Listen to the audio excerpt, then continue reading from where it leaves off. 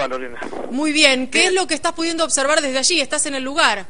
Recién acabo de salir del lugar con la cámara en altura, quisimos ver y no se pudo ver nada, desde la ruta no se ve, es frondosa la, la vegetación y el... Hola, Sí, te estamos Hola, ¿me escuchando? Eduardo. sí, es frondosa la vegetación, eh, está aproximadamente, no, no calculo que no más de 15, 20 metros de la, de la cinta asfáltica, Eh, no, no, no es nada difícil que se haya accidentado ahí por la ruta.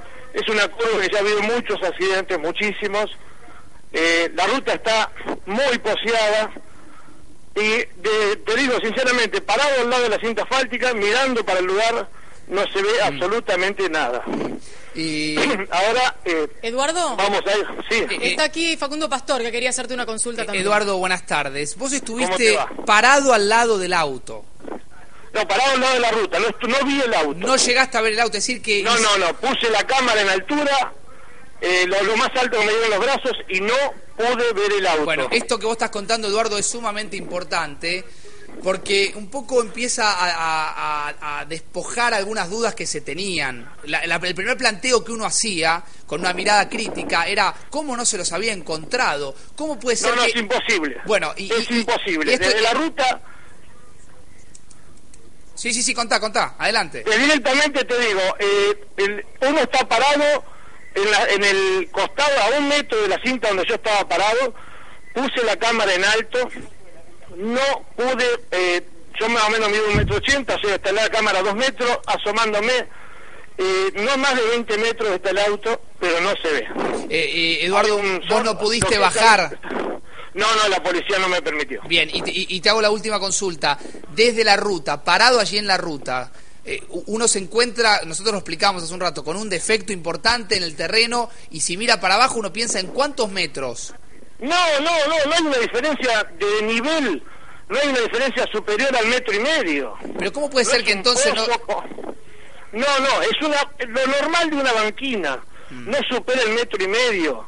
Eh, no, no es una cosa, no, no es una banquina de corte abrupto, es una bajada. Lo que pasa, este hombre es una curva que como venía este auto es una curva a la derecha. Eh, ha cortado antes aparentemente, o habrá tenido un problema en la goma porque esa, esa parte está minada, está minada de pozos, pero no pozos comunes, pozos que han roto ya montones de llantas y cubiertas, así que puede haber tenido un inconveniente, ha doblado antes y se fue abajo. Bueno, y, y uno puede... eh, yo sé que es, es una pregunta un tanto compleja, por supuesto porque están llegando especialistas al lugar, pero uno puede pensar en la participación de más de un vehículo en este accidente. ¿Se ve alguna, hay algún rastro allí en la ruta, alguna frenada? Eh, No, no, Facundo, es una ruta que no tiene una línea amarilla ni una línea blanca. Está totalmente rota. No, si directamente viene un auto con luces bajas nomás, sin encandilarte con las altas, y vos no tenés conocimiento de la ruta, podés haber mordido a la derecha. Una persona quizás que poca experiencia en la ruta puede haberse ido a la abajo y haber tenido accidente. Porque eh, te digo, venís en el aire, no sabes dónde estás parado.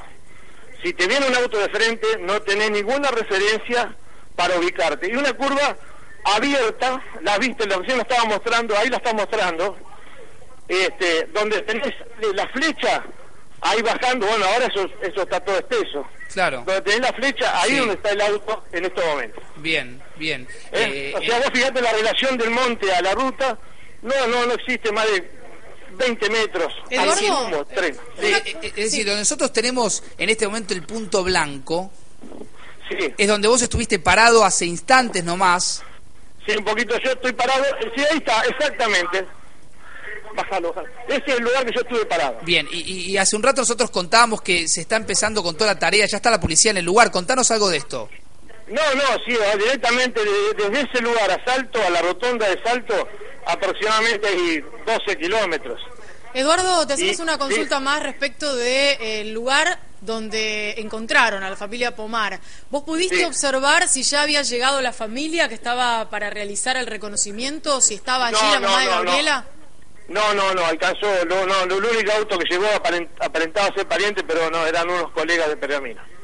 Y había no, llegado ya el, el, eh, ministro Carlos Estornelli. No, o- no, no, estaba solamente el, el, su comisario, el comisario Gavín eh, el comisario de acá de Salto, gente de, de policía, y estaban llegando los bomberos, pero no, no, no, no, no vi a nadie, no vi ni nadie que, que aparente, aparente ser algún de algún ministerio. Eduardo, ¿y se puede confirmar entonces que fue un vaquiano quien encontró el auto y los cuerpos? No, ahí desconozco porque estuve 10 minutos, vinimos a buscar más material, a informar por el canal.